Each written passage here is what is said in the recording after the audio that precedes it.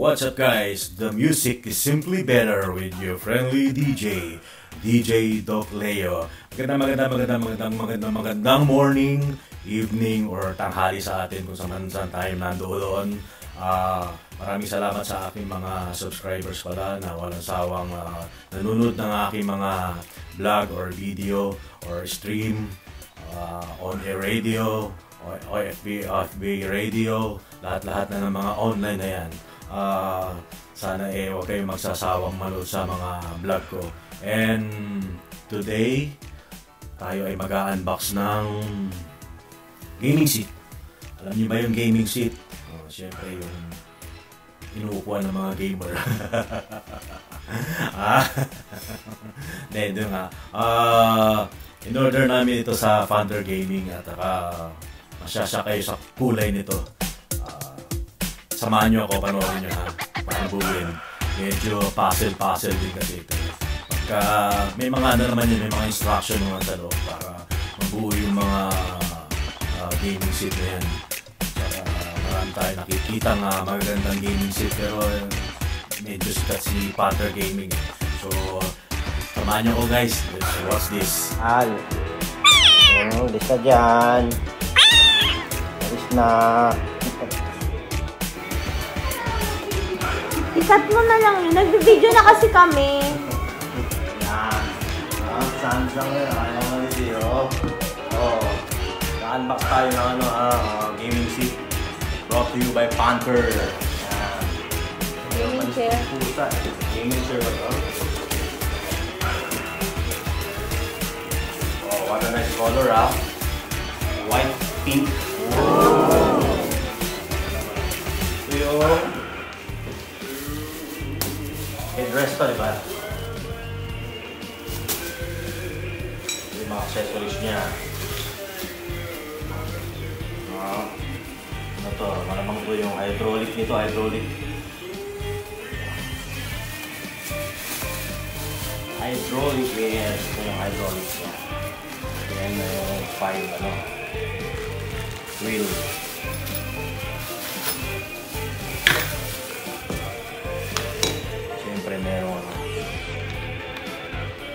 Tawag dito? Manual. Ah.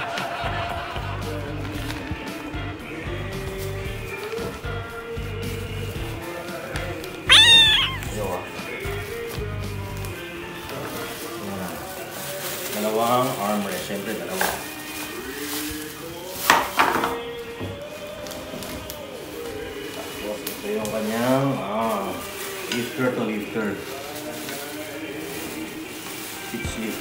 lifter yan. Uh, Tignan natin kung kompleto ah.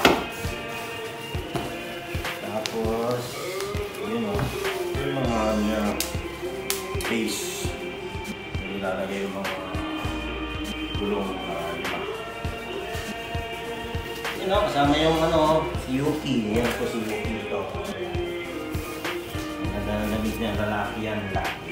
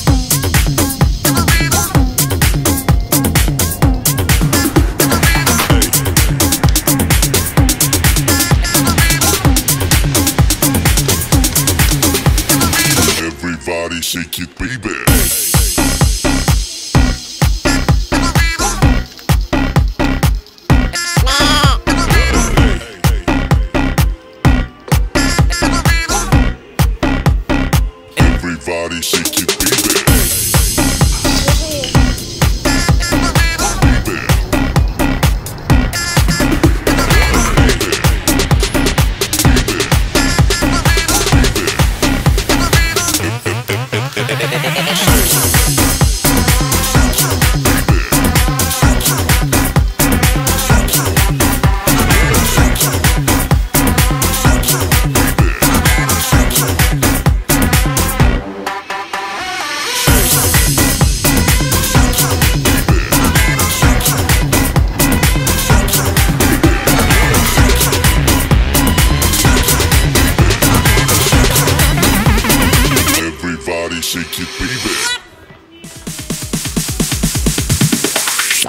DJ.